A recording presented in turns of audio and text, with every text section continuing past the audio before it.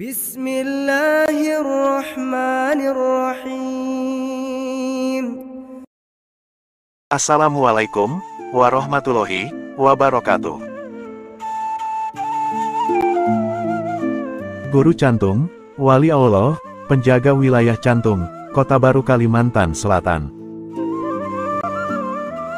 Tuan Guru Haji Muhammad Dahlan bin Ahmad Abbas adalah salah seorang wali Allah yang tinggal di sekitar perbukitan Desa Cantung, Kabupaten Kota Baru, Kalimantan Selatan.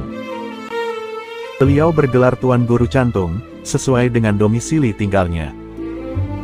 Kewalian ulama ini telah diakui Syekh Muhammad Zaini bin Abdul Goni atau Guru Sekumpul, hingga disebut Wali Allah, penjaga wilayah Cantung. Tuan Guru Cantung, lahir pada tanggal 14 Agustus tahun 1932 di Amuntai. Beliau pernah menempuh pendidikan di Pondok Pesantren Darussalam, Martapura, Kabupaten Banjar, Kalimantan Selatan. Dikutip dari alif.id, Tuan Guru Cantung, panggilan yang populer dimiliki Haji Muhammad Dahlan bin Ahmad Abbas. Semasa hidupnya, ulama Banjar ini sering didatangi oleh Tuan Guru sekumpul dengan rombongan, dan lazim bermusakaroh serta saling mendoakan di antara keduanya, dalam tempo yang cukup lama.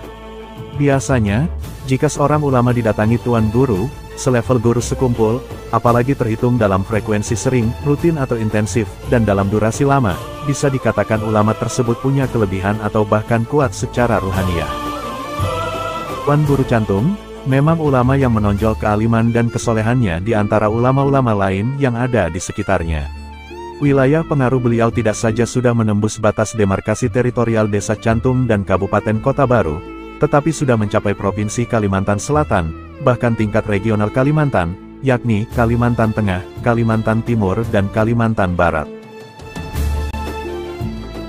Wajar, jika Tuan Guru Haji Tabrani Basri waktu itu, selaku Ketua Tanfidiyah PWNU Kalimantan Selatan, periode tahun 1998 sampai tahun 2003, telah menunjuk dan memasukkan Tuan Guru Cantung sebagai salah satu unsur Ketua Syuriah PWNU Kalimantan Selatan. Tuan Guru Cantung, lahir pada tanggal 14 Agustus tahun 1932, di Amuntai. Pernah menempuh pendidikan di Pondok Pesantren Darussalam, Martapura, sebagai murid yang hidupnya sangat prihatin. Hal ini sempat diketahui oleh Tuan Guru Husin Kodri, salah satu gurunya di Ponpes Darussalam, yang mengarang kitab Senjata Mukmin. Guru cantum muda disuruh Guru Husin mengipasi tubuhnya selepas mandi. Usai mengipasi sang guru, Guru cantum diberi uang untuk membeli beras. Konon, Guru cantum disuruh guru utamanya, Tuan Guru Seman Mulia, untuk mengasingkan diri di tempat yang jauh.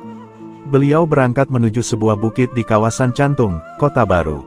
Di sana beliau sempat bekerja sebagai pegawai Departemen Penerangan, tapi tak berapa lama, beliau berhenti, agar dapat berkonsentrasi dalam bidang rohani. Beliau membangun tempat kediaman di sana sekitar tahun 1980-an, kemudian membuka pengajian sendiri di Masjid Al-Mustaqim, Cantung. Pengajian seputar tafsir Al-Quran digelar setiap malam Jumat, dan selalu dipenuhi masyarakat Cantung dan sekitarnya. Masyarakat menyenangi pengajian Tuan Guru Cantung, karena gaya bahasanya sangat sederhana, mudah dipahami dan mengena di hati. Tutur katanya lemah lembut, baik dalam pengajian maupun saat bergaul sehari-hari. Meskipun begitu, beliau tetap rendah hati, tak gengsi hadir di pengajian orang lain. Tuan Guru Cantung juga sering hadir di pengajian Abah Guru Sekumpul, baik yang masih di keraton maupun yang di Sekumpul. Beliau suka duduk di pojok, berada di sudut belakang menyembunyikan diri.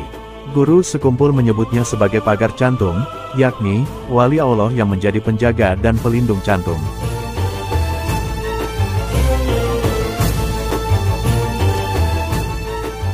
Kisah Karomah Guru Cantung Bersumber dari salah satu tokoh agama, yakni Tuan Guru Haji Sulaiman HS, Ketua MUI Kecamatan, yang sekarang tinggal di Kecamatan Ilung, Pasar Lama Barabai, Hulu Sungai Tengah, Kalimantan Selatan. Pernah ada, seseorang yang datang kepada guru cantung dan meminta air bacaan untuk dibawa pulang dan dimandikan ke badan, tetapi guru cantung menjawab, gak usah minta air, nanti kamu akan mandi juga, karena tidak diberi air, orang tersebut pulang. Dan betul, ketika di tengah jalan, Dia mandi air hujan, padahal saat itu cuacanya sangat panas, tetapi hujan muncul secara tiba-tiba. Dan kisah yang lain menuturkan, Syekh Muhammad Dahlan bin Ahmad Abbas atau Tuan Guru Cantung melakukan aktivitasnya sehari-hari ketika di kota baru biasa menggunakan alat transportasi sepeda. Tetapi anehnya, ketika beliau menggunakan sepeda dan orang lain menggunakan sepeda motor, yang sampai ke tempat tujuan terlebih dahulu adalah Guru Cantung. Subhanallah, demikianlah sebagian kisah karomah beliau. Tuan Guru Cantung wafat pada tanggal 15 Mei tahun 2004 Masehi atau 24 Rabiul Awal 1425 Hijriah. Wallahu a'lam bis Wassalamualaikum warahmatullahi wabarakatuh.